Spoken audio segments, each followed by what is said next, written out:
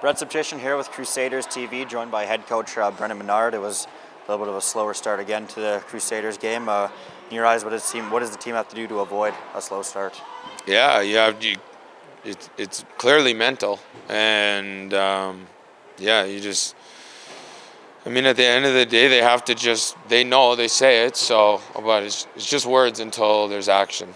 Uh, tough loss to a pretty good team. Uh, what's, uh, I guess, the message coming into uh, your guys' next game against the Camrose Kodiaks? Yeah, well, we have to bounce back. Obviously, another slow start doesn't matter who you play against, but when you play against a good team like that and you start slow and uh, you know they make you pay, they're excited to play against us. You would think that you would think that that's just automatic for the second and third place team to play against each other, but I guess in our case that's not it. So. Oh, thank you very much. Uh, head coach Brennan Menard and Brett Sobchyshyn for Crusaders TV. Brett Sobchyshyn here with Crusaders TV, joined by forward uh, Noah Wills. Uh, tough loss to a tough team in your eyes. Just wasn't what wasn't clicking for the Crusaders today.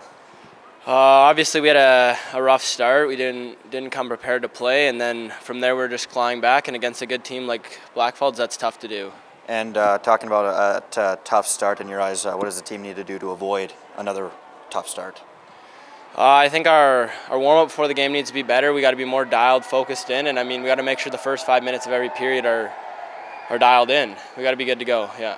And uh, you guys are facing off against the Kodiaks on uh, Tuesday, so maybe what's the message in practice uh, at the start of the week? We got to be hard on each other. We got to practice how we play, and we got to be ready to go for Tuesday. Perfect. Thank you very much. Forward Noah Wills and Brett Sobchyshyn for Crusaders TV.